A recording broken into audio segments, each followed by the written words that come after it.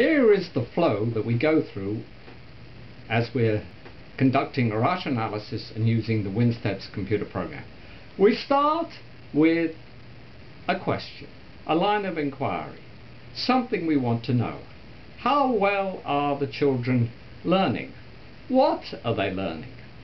Are they ahead of where we expect? Are they behind? Are there strengths? Are there weaknesses? What can we do to improve their education? Can what, how they perform tell us anything useful? Well, of course it can. But we've got to obtain that information from the children or from wherever else we're obtaining it, from the teachers for instance, and a convenient way to do that is to conduct tests, conduct surveys, ask people. And what we come out with when we do that is ordinal data. There's something we want, and there's something maybe we don't want. We want correct answers, we don't want incorrect answers.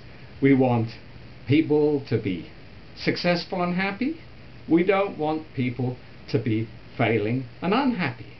So we collect this information. This information is qualitative initially. It's what we want, it's what we don't want. Then it becomes ordered. There's less and more.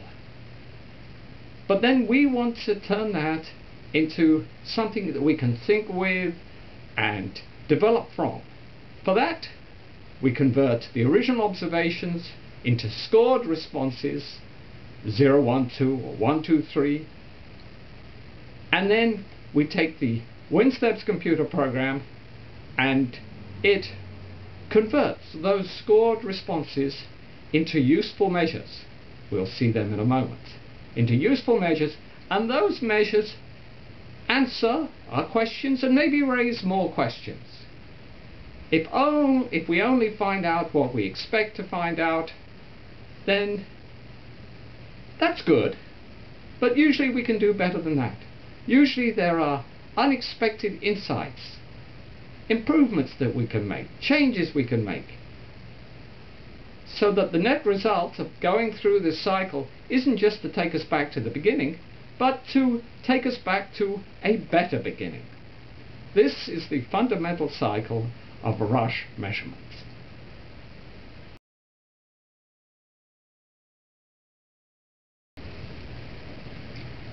What does WinSteps do for us? Uh, well, WinSteps constructs rulers. It constructs measurement systems so that we can track the progress of a child across the years if we want to, or we can find the status, the educational status, the achievement status of a child at any particular point in time. Here is the measurement scale. It's exactly the same as finding the child's height or the child's weight. Below it are the benchmark items. These are the items on our test, on our survey, on our instrument, and as a result of our Rasch analysis, every item is identified with a difficulty, a challenge that's associated with that item, and each individual, each child who takes the test composed, comprised of any of these items can be positioned along the line of progress. And as the years go by, we can see how that child is advancing. This is the fundamental latent variable. This is the Rasch dimension. And we can think of this exactly the same way that we think of as height and weight. We're concerned about is the child growing? Is the child the correct weight for its age? All that sort of information is in this picture and more. Because for any individual child, we can identify unexpected successes when a child gets a difficult item right, and unexpected failures when the child gets an easier item wrong. This enables us to tailor the education to the child.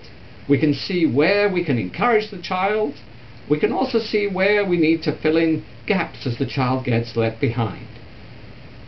This is a very human aspect of Rasch analysis. It's not just a statistical technique for organizing data.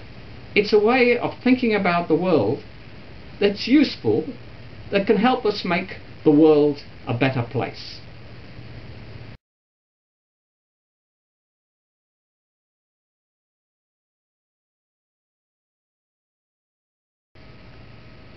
Now let's look at three examples.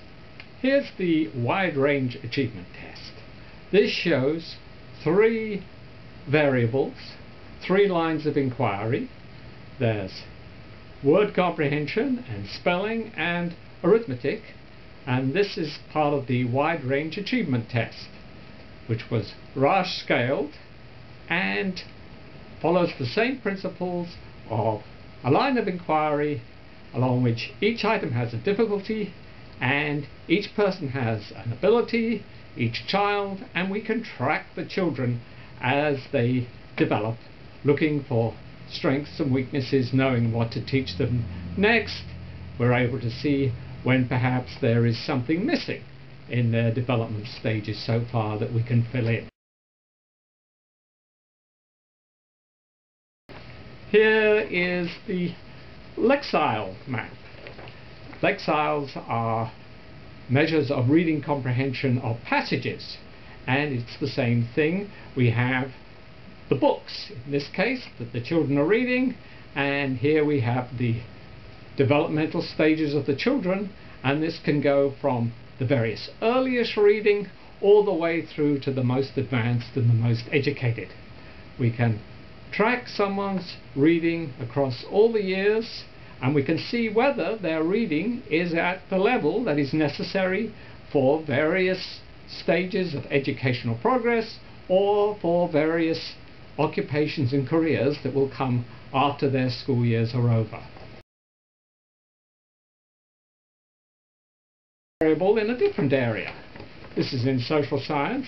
This is tracking fatigue from the most fatigued, tired, to the most energetic and active. And again, there are activities and there are the people who are at that level. And so this can be used in other settings, for instance, clinical settings or sports settings to track how someone's status is.